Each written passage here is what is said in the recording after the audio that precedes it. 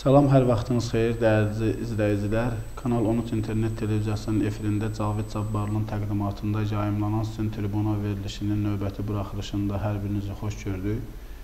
Qarşıdakı dəqiqələrdə Azərbaycanda siyasi məhbus mövzusunu müzakirə edəcəyik. Buna səbəb isə son günlər bu mövzunun gün, ölkə gündəmin ə, əsas müzakirə mövzularından birinə çevrilməsidir.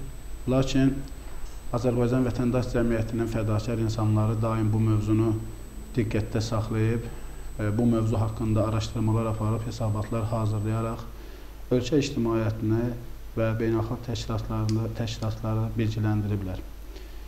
E, fədakar insan hesab etdiyimiz şəxslərdən e, ikisi bu gün bizim studiyada qonağımızdır.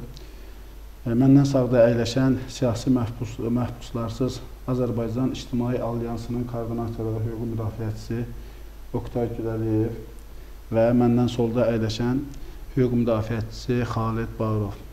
Hər ikinizi salamlayıram və e, dəvətimizi qəbul edib bu mövzunu müzakirə etmə, et, etəcəyinizə görə minnətdaram, təşəkkür edirəm. Oktay bəy, ilk sualımız e, sizədir. Azərbaycanda siyasi e, məhbus var, yoxdur, artıq bu mövzu müzakirə obyekti deyil. Çünki e, elə sizin də e, ictimaiyyətə verdiyiniz məlumatlardan anlaşılır ki, bu bir mənalı olaraq Azərbaycanda siyasi e, məhbusun məhbusların olduğu artıq reallıq kimi yəni, təqdim olunur. O zaman Azərbaycanda siyasi məhbusların vəziyyəti və bu sahədə problemlər nədən ibarətdir? Buyurun. Çox sağ olun həm dəvətinizə görə, həm də yüksək fikirlərinizə görə. E, sualınızla bağlı qeyd edeyim ki, təbii ki, bugün Azərbaycanda ə, e, siyasi məhbuslar var və bu ə, e, problem ə, mənim ə, düşüncəmə görə 1993-cü ildən ə, başlayıb və artan xətt üzrə bu günə qədər davam edib və hal-hazırda da Azərbaycan ə, dünyanın, eləcə də Avropanın siyasi məhbuslardan ə, əziyyət çəkən ə, öndə olan ölkələrindən biridir və hətta mən deyərdim ki, lider ölkələrindən biridir.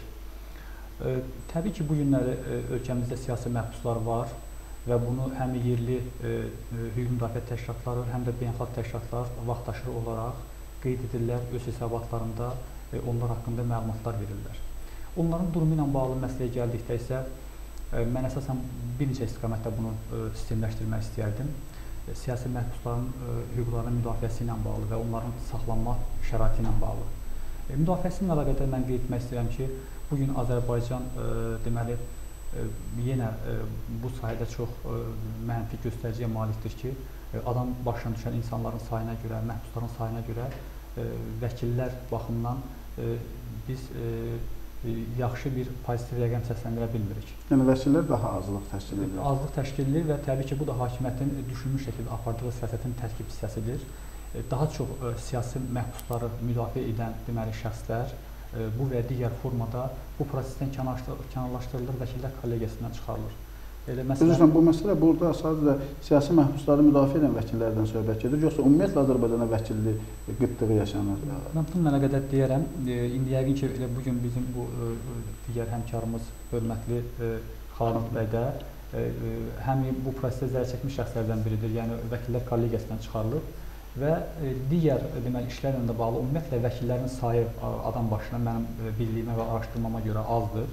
Siyasi məhbusların hüquqlarını müdafiə edən vəkillər isə daha çox azdır və bunun da bir səbəbi odur ki, Azərbaycanda son illər xeyli vəkillər məhz bu peşəyə görə, məhz bu sahəni müdafiə etdiklərinə görə, müdafiə etdiyinə görə vəkillər kollegiyasından xaric olunublar və onların da biri ilə deməli Xalid Bağırovdur ki, bu prosesdə deməli zərər çəkib və kollegiyadan uzaqlaşdırılıb. Yəni siyasi məhbusların hüquqlarının müdafiəsi ilə bağlı bu məsələlər var və eyni zamanda mən hesab edirəm ki, bir sıra beynəlxalq təşkilatlardan e, bu sahədə lazımi dəstək alınmır. Təbii ki, e, müdafiə edənlər də var, e, siyasi məhbuslar, Azərbaycanın siyasi məhbusları və məsələn etməyənlərdən biri ilə bağlı Avropa Şurası ilə bağlı məsələn qeyd etmək olar ki, düzdür, bir ara bu məsələ çox pozitiv başladı, xüsusi məclis təyin olundu, ölkəyə deməli gəlməsindən bağlı problem olsa müəyyən sənədlər topladı, E, kriteriyalar müəyyənləşdi, amma e, sonrakı mərhələdə bu proseslər davamlı olmadı.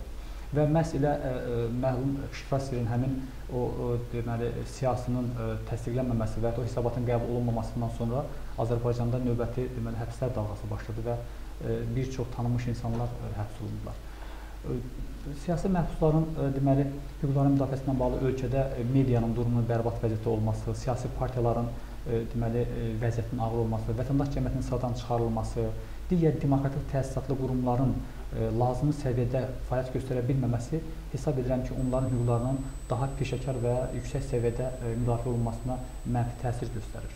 Və digər amil isə ə, həbs yerlərində saxlanma şəraitinin bərbad vəziyyətdə olmasıdır. Düzdür, təbii ki, siyasi məhbuslarla bağlı digər məhbuslar da bundan əziyyət çəkirlər və ə, eyni ə, taleyi yaşayırlar.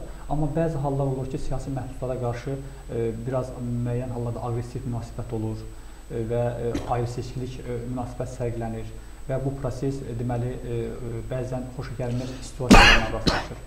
Yəni bütün hallarda Azərbaycanda sualınızı yekunlaşdırıb mən ümumiləşdirib cavab vermək istəyirəm ki, siyasi məhbuslar var, onların hüquqlarını müdafiə edən fədakar insanlar var, amma eyni zamanda onların müdafiəsi ilə bağlı onların deməli ki, özlərinə, ailələrinə, yaxınlarına göstərilən deməli o deyək ki, müəyyən dəstəklə bağlı, həm də saxlama şəraitinə bağlı da müəyyən çətinliklər və problemlər var. Xalid bəy, eyni sualı mən sizə ünvanlamaq istəyirəm və əlavə olaraq siz də e, zərər çəkmiş şəxs kimi e, bu deyilənlərə nə əlavə edərdiniz? Qeyd edim ki, e, siyasi məhbus mövzusuna gəlsək, e, mən hüquqşünaslar mövzusunu e, birbaşa qatmaq istəməzdim. Çünki hüquqşünasların mövzusu, vəkillərin mövzusu ümumiyyətlə ayrıca bir mövzudur. Oqtay bəyin e, ümumi şəkildə səsləndirdiyi e, fikirlər doğrudan da realdır. Azərbaycan e, vəkillər sahəsində qısa bir məlumat verim keçim. Azərbaycan vəkillərin sayına görə, adam başına düşən, əhali başına düşən vəkillərin sayına görə 48 döv Avropa dövləti, 47 Avropa plus üstəgəl İsrail götürməyini çünki İsrail də Avropa, Asiyada yerləşməsinə baxmayaraq Avropa. Avropa sayılırlar. 48 dövlət arasında sonuncu yerdə gedir. Hər 100 min əhaliyə burada bir vəkil düşür. Yəni, yəni bizdə. Hə, bizdə. Hı. Müqayisə üçün e, mən sizə başqa rəqəmlər gətirə bilərəm. Məsələn, 18 milyonluq İstanbulda 34 e, minə yaxın vəkil var. Yəni bu rəqəmi bölsəniz özünüz rəqəm çıxar. Bir 18 milyon İstanbulun 34 min vəkili var. Ondan 2 dəfə ə, e, az olan Azərbaycan əhalisinin isə cəmi 900 vəkili var. Yəni rəqəmlər bu ə, e, ə, e, vəkillər kollegiyasının üzvləri hesabda 900 söhbətidir. Çünki bilirsiniz vəkillər kollegiyasının üzvlərinin bir çox məsələlərdə ə, e, insarçı mövqeyi var. Məsələn, cinayət işlərinə məşğul olma sahəsində, mülki və digər işlərdə ali məhkəmə instansiyasına çıxmaq hüquqları. Bu baxımdan da ə, müzakirə predmeti yalnız ə, vəkillər kollegiyasının üzvü olanlardan söhbət gedir.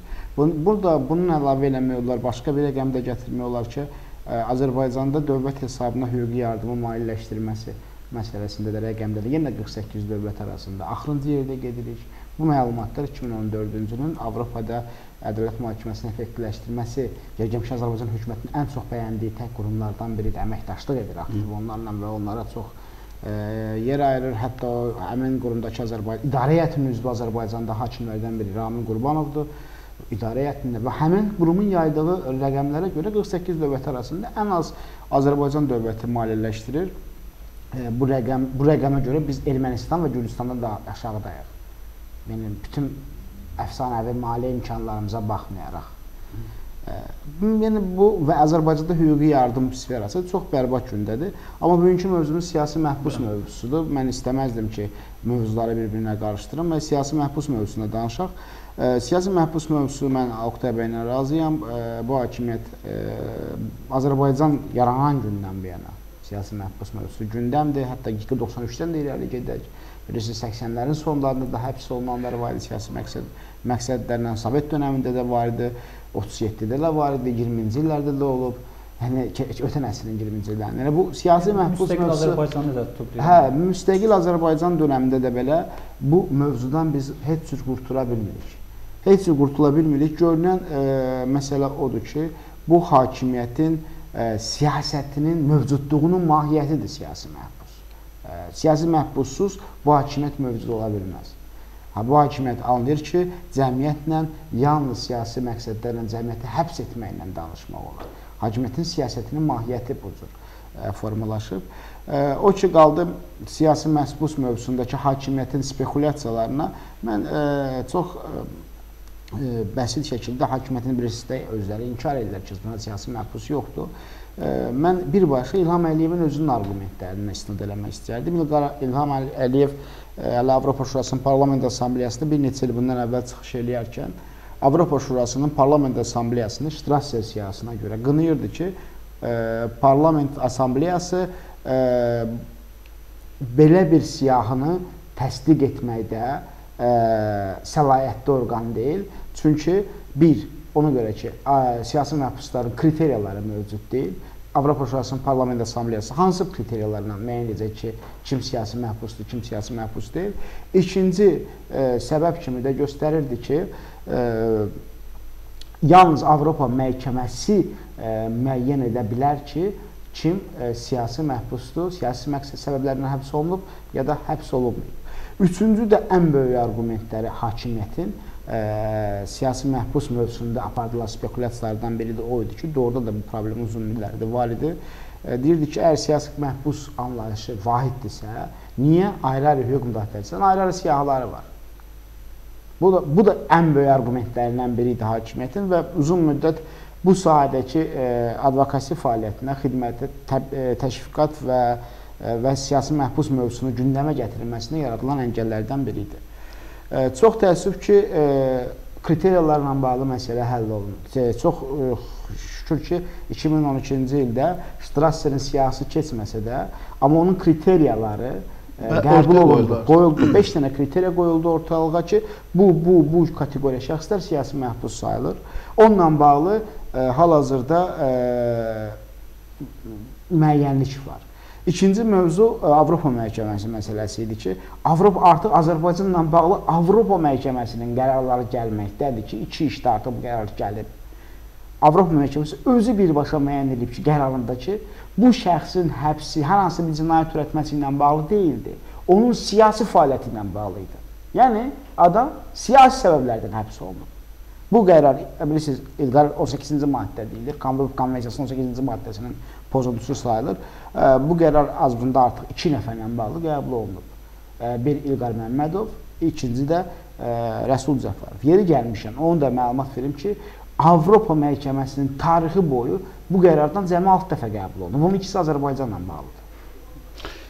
Yəni təsəvvür edin ki, o ə, mövzu da ə, O mövzuda da artıq qərarlar gözlənilir. Bu gün 18-ci maddə ilə hardasa bir 20 yaxın Azərbaycanla bağlı qərar gözlənilir. Bu qərar vermə mərhələsindədir.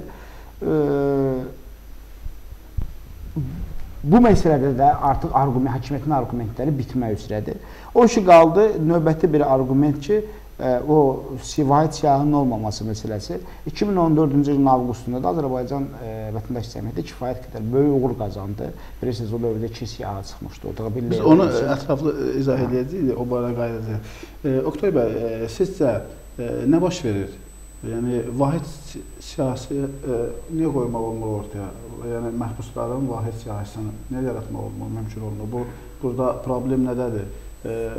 Kriteriyalar fərqli yanaşılır. Yəni bu sahələri tərtib edənlər kriteriyalar müxtəlif kriteriyalarla yanaşırlar, yoxsa başqa bir problem var? Həm də 2013-cü ildən sonra vahid kriteriyalar da ortadadır. Bu bu, bu paradoksu necə şərh edərsiniz? Çox sağ olun.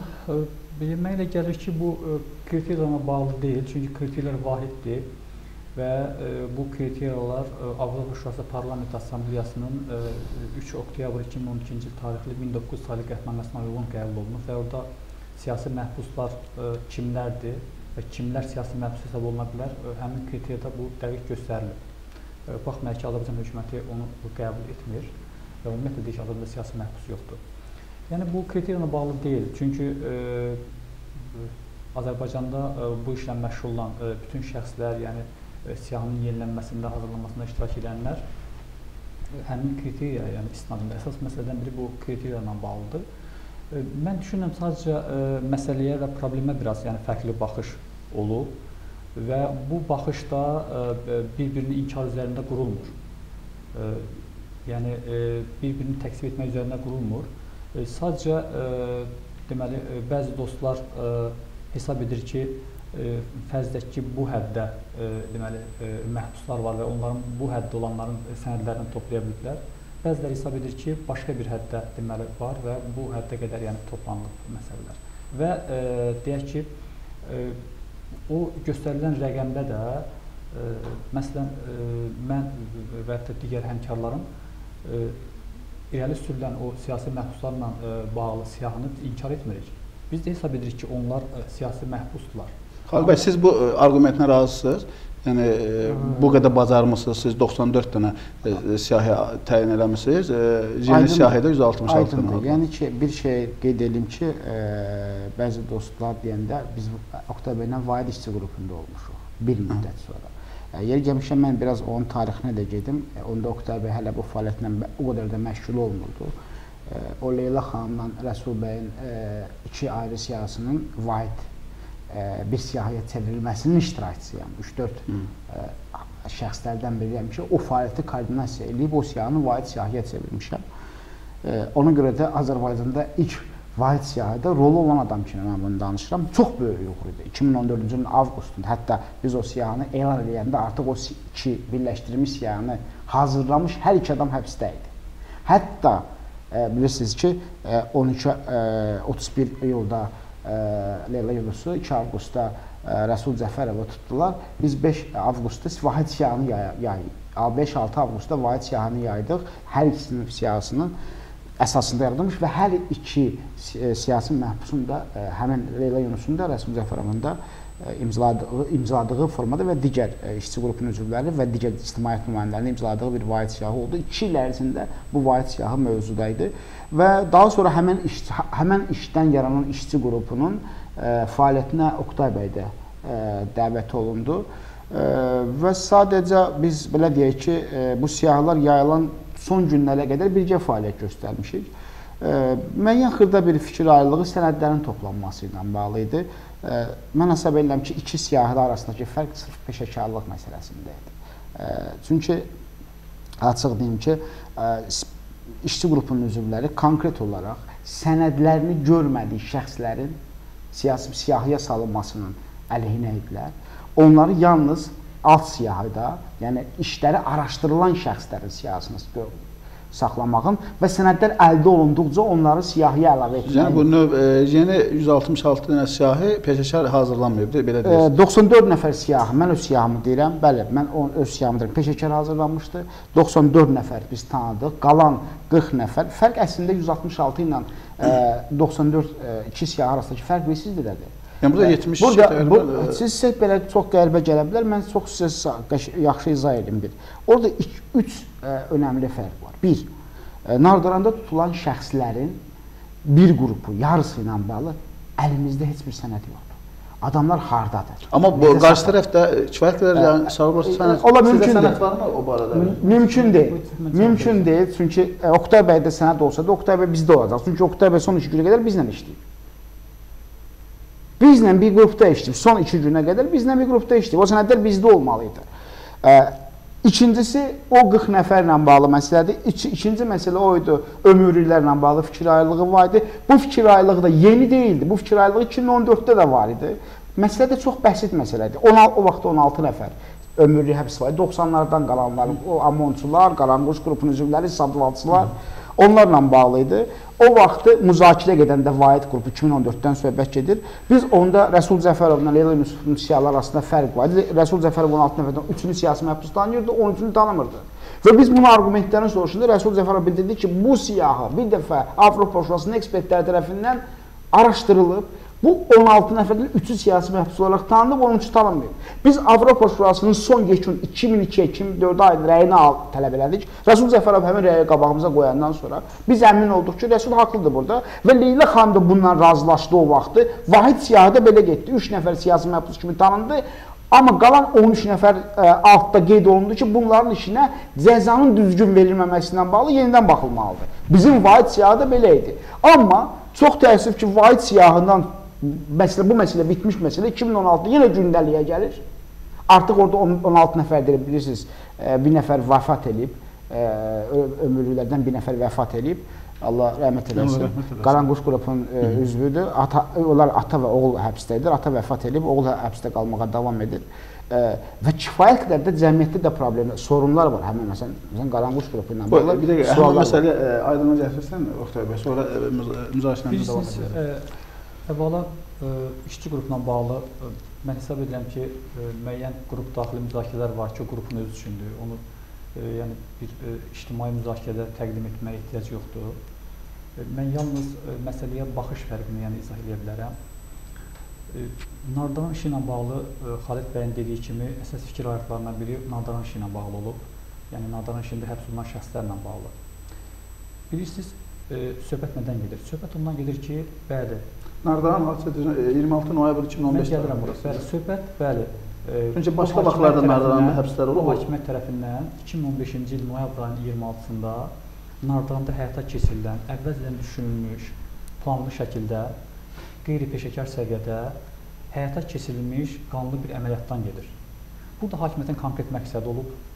Məqsəd Talih Bağırzadəni və onun tərəfdarlarını zərərsizləşdirmək, Nardaran mifini dağıtmaq, o həmin qəsəbəni ram etmək olub. Və bu iş başlanağı siyasi iş olub. Məsələyə yanaşma ə, fərqimiz var. Mənim şəxsən ə, yanaşmam budur ki, ə, və eyni zamanda ə, bu siyahının üçün hazırlanmasında iştirak edən ə, Leyla Yunus və digər şəxslərin mövqeyidir ki, Nardaran işi ilə bağlı Nardaran işi özü siyasi iş olduğuna görə bu işlə bağlı həbs olunan bütün şəxslər günahsızdır və siyasi məhbusdur. Talih Barzadan tutmuş, orada e, deməli e, e, üzr istəyirəm, o e, məclisə təsadüf gələnə qədər, küçədən təsadüf keçənə qədər, ora e, deməli çay çayçı işləyənə qədər və eyni zamanda e, e, BBC xəstə BBC-dən dərman gətirən şəxsə qədər.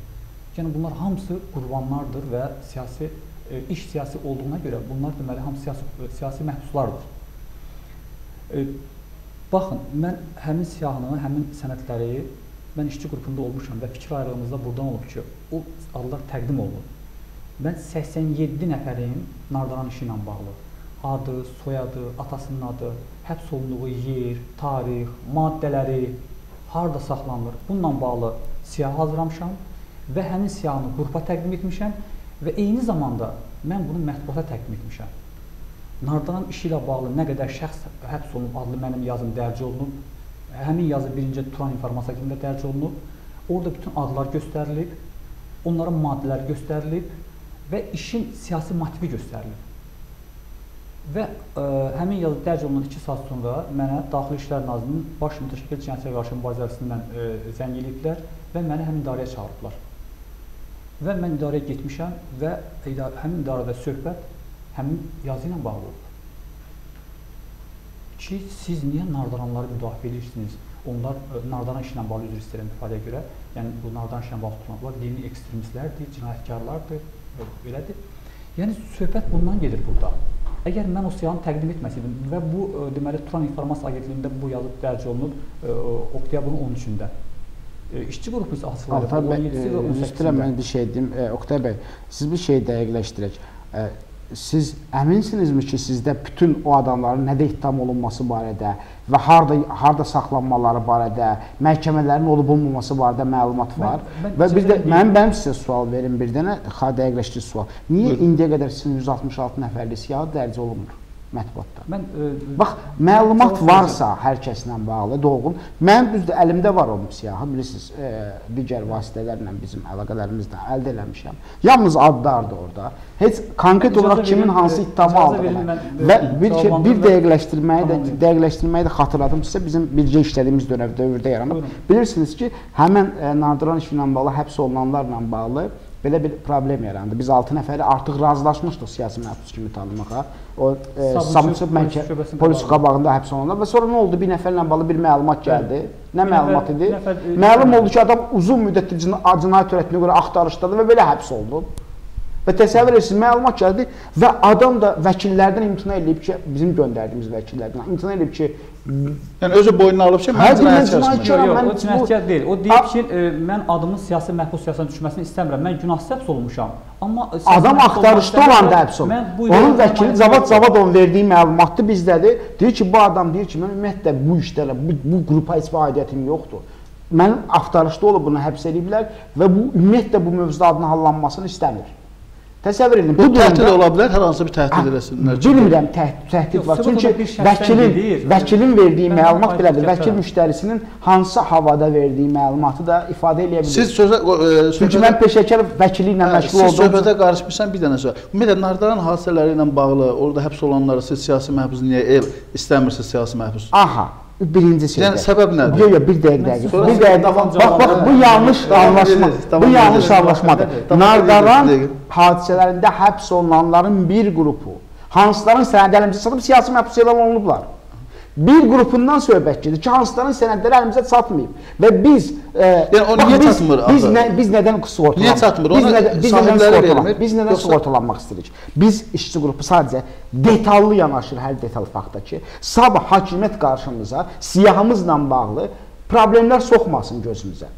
Bax, başa düşürsünüz. Çünki bizim siyahı e, beynəlxalq tə, e, təşkilatlar arasında təşviqatda istifadə olunacaq və bir yalan faktın ortaya çıxardılması hakimiyyət tərəfindən bizim siyahını gözdən salacaq. O baxımdan biz çox e, qəti işləyirik. Məsələn, çox primitiv bir misal gətirib. E, bilirsiniz də bu, bu sosial şəbəkədə çox-çox yazır. 166 nəfərlik siyahıda o qədər qeyri-peşəkarlıq var ki, bir adam adı 2 dəfə gedib. Yazıb göstərib. Var belə fakt. İki, adamlar azadda azad olunub. Məsələn, Royal Əsgərim azad olunub, siyahıda adı var. Yəni təsəvvür edin, bu qədər qeyri-ciddi işləmək istəmədik Oktay bəy sadəcə. e, fikir yarımçı qaldı. Həm o məsələ, həm də bu ad məsələsi ilə bağlı Birincisi, gətirin. e, mən onu bildirim ki, e, mənim Xalid Bağırova böyük hörmətim var və onun təcrübəli, savadlı vəkil olmasına heç bir şübhəm yoxdur. Və mənim bu deyəcəklərim və e, belə deyək ki, söylədiklərimin e, onun şəxsiyyət şəxsinə, yəni e, deyək ki, e, aid deyil. Mən onun bu məsələyə yanaşma ilə bağlı deyirəm. Əvvəla mən bu siyahını, adlı siyahını, Nardıran işi ilə bağlı 87 nəfərin adlı siyahısını, bayaq dediyim kimi adı, familiyası, həbs olunduğu yer, tarix, irəli sürülən ittihamlar, həbsin siyasi motivi və böyük əsəblə bağlı saxlanma. Çünki bəzilər rayonda olub, onları biz dəqiqləşdiririk. Yəni e, amma əksər bilirsiniz ki, Bakıda e, Küdaxanın tərsanasında saxlanılır. Bunlarla bağlı deməli siyahını hazırlamışam və e, həm qrupa göndərmişəm və sonra mətbuata təqdim etmişəm. Və mətbuata dərc olunub, bayaq orada qaldırdım ki, ə, ə, ə, qaldım ba, ba, deməli Daxili İşlər Nazirliyinin Başçı Çıxıl Cinayətə qarşı mübarizə idarəsi, yəni bununla bağlı soruşturma apardı mənimlə və narahatlığını bildirdi. Bu barədə mətbuatda məlumatlar gedib. Ayın 13-də dərc olunub və ə, qrupa təqdim olunub. Ayın 17-sində isə həmin qrup deməli ə, bu açıqlayıb. Yəni mən tə təqdim etmişəm. Birinci bununla bağlı demək istəyirəm fikirlərimi. Buyurun. Bu birinci məsələ. İkinci bilirsiniz nətərdir? Mən yenə deyirəm bu Yəni sizin yazdan istifadə edirlər, yoxsa necə anlaşılmaz oldu biraz? Ayın 13-də siz yazını dərc elədiniz, 17-sində e, başqa bir qrup, yəni 94 nəfərlik siyahı tərtib edir, yəni təqdim yox, yox, yox. Yəni bayaq Xalid bəy arıcılığı dediyi işçi qrupu biz bir yerdə olmuşuq. Bu söhbət oldu ki, təqdim etmə. Deyirəm mən ayın 13-də bu məlumatları təqdim etmişəm həm qrupa, həm də mətbuata. Dərc olunub və bir gün sonra da ayın 14-də də məni e, baş qarşı çağırıblar. Bəli, mən bunun xronologiyasını deyirdim. Və başqa məsələm var burada. Burada daha çox e, deyilir ki, məlumatlar e, toplanılmır, əldə olunmur. Mən təbii ki, yəni e, bu belə hallar var. Yəni bunu heç kim e, deməli şeylə istisna edə bilməz. Amma mənim deyəcəyim bu Xalid bəyin şəxsinə aid deyil. Hadisə baş verib 11 ay öncə. Əgər Nardaranda Bakının yaxın bir qəsəbəsidir. 11 ay öncə baş vermiş hadisə ilə bağlı kimsə məlumat toplaya bilmirsə, bu həm də onun biraz məsuliyyətidir. Məlumat toplamaq ə, ə, bəzi hallarda ola bilər çətinlik olsun. Amma o bu qədər çətinlik olmamalıdır və məlumat toplanılır. Və biz topladığımız məlumatları paylaşırıq, bölüşürük. E, Digər tərəfdən isə e, bəzi şəxslərin deməli dedi ki, e, e, azadlığa çıxması ilə bağlı e, o siyahıda e, bəzi şəxslər bəli azadlığa çıxıb. Amma onlar necə çıxıb azadlığa? Onlar deməli e, onlar cəza çəkmə müəssisəsindən məntəqə tipli müəssisəyə köçürülüb. Onların üzərində məhkumluq qalır. Yəni onlar şərt azadlıqdadır. Və biz onları yenə siyasi məhbus hesab edirik. Şərti azadlıqları da siz saxlayırsınız, azad Yəni olmuşlar. bu məntəqə tipli çəkmə Onda Xədicə İsmail da siyasi Yox, yox, məhbusdur, İntiqam. Əliyev Yox, də. dəqiqə, icazə verin, mən fikrimi tamamlayım. Məntəqə ümumi e, deməli cəza çəkmə müəssisəsindən e, məntəqə tipli cəza çəkmə müəssisəsinə keçirilirsə, həm bizim bu praktikamızda olub. Bəli, mən tipli, saxlamışıq. amma biz deyirik azad olunmuş şəxslərdən danışırıq. mən bu həm adamı üzr gətirəm, istəyirəm, adamı ə, gətirmişəm, məntəqə bura yazıram. tipliyə, məntəqə tipliyə köçürürlər. Amma biz azad olunmuş adamlardan danışırıq. mən mən də deyirəm Yəni- ki, haqqında məsələn danışan şəxslərdən Bir neçəsi var ki, bir siz də onu Oktay bilirsiniz. Onlar bir şey- məntəqə bir şey qeyd Ə, gəlin Cavid bəy də bilsin. Baxın, məndən soruşsaz, Nardaran tutulanların hamısı siyasi. Amma bu mənim bir Xalid Bağırov olaraq, Vətəndaş bir emosional olaraq mövqeyimdir. Amma bir peşəkarlıq var ortalıqda. Peşəkarlıq belədir. Mənim qardaşımın adı da qabağıma gəlsə, mən ona peşəkar sırasını yanaşacağam. Bu nəyə görə tutulub? Bu budur. Buradan, buradan orası yoxdur. Siz özünüz bilirsiniz, bilməm, Oktay bəy bilir, amma qrup üzvləri bilir ki, mənim elə adamlarla bağlı, elə sərt mövqelərim olub ki, kan, yalnız o kriteri oturandan sonra biz onun siyasi məhbus siyasına salmış. Oktay bəy, bu, bu və, boyda... Və hər... ikinci məsələ, Buyurun. bilin, baxın, Nardan hadisələrlə bağlı, Talib Bağırzadə ilə bağlı qərar var. Ortadadır. Çünki niyə? Bunun keysi çox açıqdır. Nə də iddiamı olur, nə işgəncələr görüb, hansı, hamısı var. Amma açıq hiss edeyim, çatımlılıq yoxdur. Bir çox adamın ailəsi bu mövzuda danışmaq istəmir. Siz ümumiyyətlə Talib isla- e, siyasi din- hesab edirsiniz? Gəlin bəy. Bəli, təbii ki, bizim siyahıda var. Və yeri gəlmişkən, Azər bizim siyahıda olanların 94 nəfərin 70%-i dindarlardır. 70%-i Ha- Hacı Abgül ordadır, e, İslam. Möhsün Səməd ordadır. e, Nə bilim, e, masalda tutulan dindarlar Fəramiz, var. e, Seyid Fəramiz. e, o birlər, bunlar hamısı var. Sadəcə mövzu bilsin nədir? Mövzunu sapındırmaq lazım deyil. Təbii ki, mən də bilirəm ki, Azərbaycanda siyasi məhbusların sayı bilsin nədir? Təkcə bunlarla bitmir. Sələfilər var belə siyasi məhbuslar. Tutulurlar, narkotik oyuncular tutulur. Bu siyasi məhbus Oktay bəy, bu fərq nədən yarandı? Amma bizim onlara çatımlılığımız yoxdur, Cavid bəy. Və 160. Bu boyda Mən, fərq mən fərqi bəs Vaxtımız da azdır, mən bir- bir dənə, e, mən ona görə demək istəyirəm ki, e, biz e, məsələlər yanaşma fərqimiz var və mən hesab etmirəm bu peşəkarlıqla bağlı deyil. E, Hər hansı bir siyahıda fərzə ki, lap Xalid bəyin dediyi kimi də olsa bir texniki səhv, bütün e, deyək ki, sənədlərdə texniki səhv ola bilər və bu ideal sənəd yoxdur. Amma məsələ yanaşmadan söhbət gedir. Və mən yenə deyirəm ki, axı hansı burada peşəkarlıq söhbət getməlidir? Bunlardan işi ilə bağlı e, mən adlar çəkmək istəyirəm. Birincisi, e, Müsəlman Birliyi Hərəkatının idarə etən e, deməli e, təmsil olunan şəxslər 10 nəfər. Bunlar hamısı günahsız insanlardır. Nəyə görə olmasın ki, bunlar həmin siyahıda? İkinci ad çəkmək istəyirəm mən. Nardaran e, e, deməli e, pirinin axundu Nöqbala Rəhimov. Bu adam bir ay həbs oldu. Onunla bağlı bütün məlumatlar bizdədir. Və, və Nədə ittiham olunur? Silah, silah deməli e, 228 e, nöqtə 1 e, deməli silah saxlama, gəzmə, qanunsuz silah gəzmə. Və bu adam təsəvvür mən nə gün bunu çəkirəm? 1 il 6 ay deməli həbs cəzası alıb və artıq o 1 ilə yaxın həbsdədir. Bunun həbsdən çıxmasına 6-7 ay var. Əgər biz bunu adını salmırıqsa və bunu salırsa növbəti siyahı yenilənəndə bu adam həbsdən çıxandan sonra e, Allah qapısını açsın. Sizdə onun hökmü var. Bəli. Niyə işçi qrupuna təqdim eləmirdiniz? Mən dedim axı Xalid bəy. Bax, üzr istəyirəm. Oktyabrın 13-də, 13-də mən bütün işlərlə bağlı, bütün işlərlə bağlı məlumatı təqdim etmişəm. Oktay bəy, siz e, mən məni məcbur edirsiniz ki, siz siz üzr istəyirəm. deyil. gəlin belə deyək. Baxın, e, siz məni məcbur edirsiniz. Biz istifadə. icazə- Siz son son tamamlayım. 2 həftədə edirsiniz ki, mən tamamlayın. təqdim etməyə hazıram. Amma bir dənə də sənət Hey, sizdən gəlməyib. Xalq bəy, bu fikrini 13-də tamamlasın, sonra sizə də təqdim etmişəm. cavab vermə hüququ Hətta tanınır. işçi Buyurun. qrupundan da əlavə mən bunu mətbuat təqdim etmişəm. Və yeri gəlmişkən mətbuata həm ictimai maraq üçün bunu təqdim etdim. Həm də mən düşündüm ki, sabahlar belə suallar çıxacaq, bizə təqdim eləməyib. Mən bunu mətbuata təqdim etdim.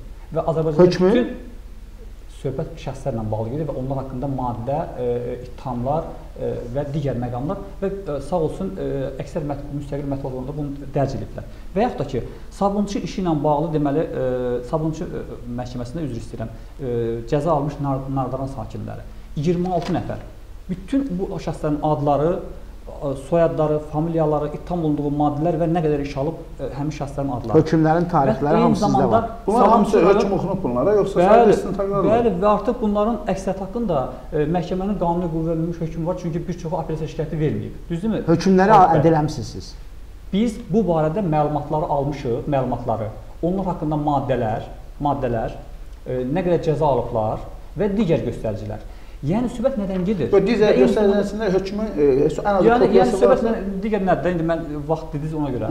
Adı, soyadı, atasının adı, həbs olunduğu tarix, irəli, e, ittiham, irəli sürülən ittiham, e, e, motivin e, e, siyasi motivin olub olmaması e, və eyni zamanda saxlandığı yer, və Oktay bəy, siz hökmü əldə eləmisinizmi? Orada hökmdə göstərilmir ki, adam etiraf edir, etiraf, etiraf eləmir. Bəlkə durub deyir ki, doğrudan da mənim evimdə avtomat varmış. Bu da bu da çox ciddi məsələdir. məsələn budur. Ola bilərmi? Ola bilərmi kiminsə evində avto bu bu fakt var. Mən onu bilmirəm. Çünki kriteriyalar oturması üçün bir avtomat varsa artıq cinayət törətmiş şəxsdir. Bir kriteriyandan baxa bilərəm ki, o cinayət törətmiş şəxslərə Məsələn, cinayət törətmiş şəxs da siyasi məhbus ola bilər, bilirsiniz? Hı -hı. Bizdə dəfələrlə siyahımızda, məsələn, Asif Yusifli, AXCP rəissiyyətinin üzvü və yaxud da keçmiş siyahıda Nigar xanım Yaqublu. Cinayət var idi, həmən, lakin həmən növ cinayətləri törətmiş şəxslərdən fərqli münasibətə, dövlət tərəfindən münasibətə məruz qalan şəxslər də siyasi məhbus sayılır, siyasi səbəblərdən. Məsələn, Asif Yusuflu hesab edir ki, törətdiyi cinayətə görə azad şərtə cəza ala bilərdi, buraxılmalı idi. Amma buraxılmadı deyənə Onu siyasi siyasi məhbus. məhbus sayılır. Yəni o kriter biz deyirik ki, biz gəlin bunu qoyaq. Kriteriya otuzdurmaq peşəkarlıq kriteriya otuzdurmaqdır. Baxaq, bir, doğrudanmı silah olub, olmayıb. Yəni kütləvi gətirək ki, hə, onsuz da hamı hamı cinayətçi siyasi məhbusdur. Mən bu başa düşürəm bunu. Mən də başa belə yanaşa bilərəm. Amma peşəkarlıq buna mənə imkan vermir. Mən bilməliyəm, hə silah var idimi? Özü nə yazırdı? Silah var ya yox idi. Silah etirafda əsas götürülür. Hə, silah silah var deyirdisə, silah var nəyə görə deyir? Bəlkə doğrudan da silah olmuyor, amma etiraf eləmək zorunda qalıb. Məcburiyyət qala bilərmi? Döyülə bilər işgəncələr altında. Biz bunları dəqiqləşdirməliyik. Çünki e, bu suallar sabah bizim qarşımıza çıxa bilər. Biz hamımız ə, Azərbaycanda yaşayırıq. Burada insanları niyə və necə tuturlar çox gözəl bilirik. Bu əgərləri yeni bir şey olsaydı və ilk dəfə hal təkrarlansaydı, mən Xalif bəylə razılaşardım və deyərdim ki, siz düz deyirsiniz və gəlin ə, susarın və sona qədər gözləyəcək. Bu insanlara hamısı qondarma ittihamlarla həbs olunublar bu insanlar və onlara mən deyərdim ki, son illərin ən ağır işgəncələri verilib. Mən iştirak eləmişəm e, e, Naldıran işi ilə bağlı e, deməli e, məhkəmələrdə, e, Ağır Cinayətlər Məhkəməsində. Onlara o qədər işgəncə verilib ki, onu sözlə ifadə etmək mümkün deyil. Və orada insanlar döyə-döyə öldürülür. İnsanların dırnağı çıxarılıb, insanların e, beli sındırılıb. Necə ola bilər ki, e, e, Əbülfəz Bünyatov o evin sahibi hansı onun evində bu əməliyyat keçirilib. Bu adamın belini sındırıblar. Bu adam e, hazırda ölüm ayağındadır. Və biz deyirik ki, yox, hələ biz gözləyək görə bu gəlsin etiraf etsin ki, nə bunlar, bunun günahı var yoxsa yox. Bu adamın evinə giriblər. Evində bunu vurub belini sındırıblar. Biz onu tək siyasi məhbusiyasına salmayaq. Və hətta digərlərini. Abi, e, Oktay bəy də dediyində hər hansı bir haqq Yəni var. bu Aydındır, dərəcədə yəni bu emosional bu yanaşmadır, məsələləri- peşəkar bu yanaşma deyil. Bax e, deyirəm, e, fərqimiz budur. Azərbaycanda siz Azərbaycan bax emosional bir fikir deyimsə, Azərbaycanda Azərbaycanın başımızda 9 emosional milyon siyasi məhbus var. Hə, siz ümumi Baxın, yaxınlaşaq, hamımız. Retorik- retorik Yəni emosiya budur. Bilirsiniz, 10 insanlardan 10 danışır. minlərlə Verilişimizin həbs- vaxtı 10 minlərlə azalır. 10 minlərlə həbs olunan var Azərbaycanda. Mən sizə deyim. 10 min cinayət işindən 10 min cinayət işindən 90 faizi qanunsuz cinayət işləridir. Çünki bilirsiniz niyə? Hüquq mühafizə orqanları yoxdur. Sistem yoxdur. Adicə narkomanı belə düzgün tuta bilmir. E, cinayətkarı belə düzgün tuta bilmir hüquq mühafizə sistemi. Pozuntu ilə hüquqların pozulur, işgəncə verir, ona məcburiyyətdir, öz törətdiyi cinayəti etiraf eləməyə işgəncə verir. Baxın, bütün bunları biz genel yanaşsaq, siyasi məhbus saya bilərik. Çünki niyə? Sistemin qurbanlarıdır. Amma biz ilə bağlı biz e, müzakirəmizi bütün həbs olunanlar günahsızdır və mən ümid edirəm ki, qısa bir zamanda e, Talih e, Xalid bəy və onun daxil olduğu qrupda onları siyasi məhbus kimi qəbul edəcək. İnşallah ümid edirəm. Amma- həmin şəxslər bizdə kənarda deyil. İşləri araşdırılan Siyahıdan. Xalq bəy, üzr istəyirəm. Mən son sualım. Ömürlüklərlə bağlı Eyb yox, çatmır vaxtımız çox Hə, azdır. Növbəti verilişlərdə bu haylalar. Ancaq son. Dəyərli izləyicilər, burada bizim e, vaxtımız başa çatdı. Mən bir daha qeyd etmək istəyirəm ki, biz bu günləri Sin Tribuna verilişində e, Azərbaycanda siyasi məhbus mövzusunu müzakirə etdik. Qonaqlarımız isə siyasi məhbuslarsız Azərbaycan İctimai Alyansının koordinatoru, hüquq müdafiəçisi Oktay Güləliyev və hüquq müdafiəçisi Xalid Bağırov. Təşəkkür edirik.